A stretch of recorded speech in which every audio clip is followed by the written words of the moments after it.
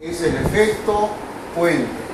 El efecto puente es una configuración normalmente de cinco resistencias.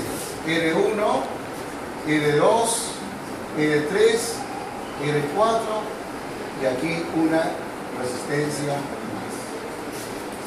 Ahora, nosotros vamos a tener donde va la quinta resistencia, vamos a ver un galvanómetro. El galvanómetro viene a ser un sistema que determina resistencia, perdón, corrientes muy pequeñas. Corrientes pequeñas. Ahora bien, en nuestro experimento, el L1 va a ser proporcional a L1. La resistencia 2 proporcional a L2. Es decir, a mayor longitud, mayor resistencia.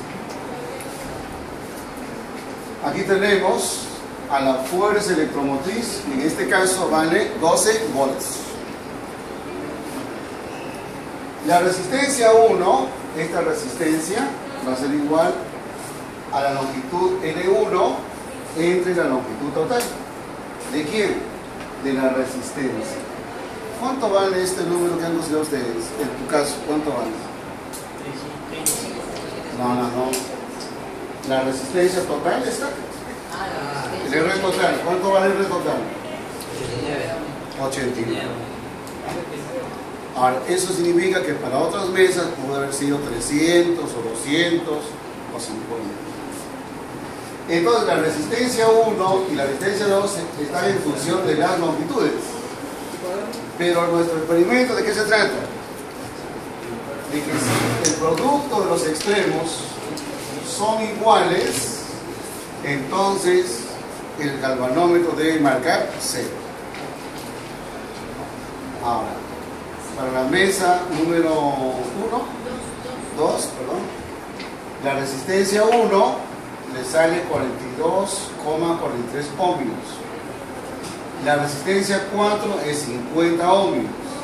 La resistencia 2 es 46,57 ohmios. Y la resistencia 3 vale 47.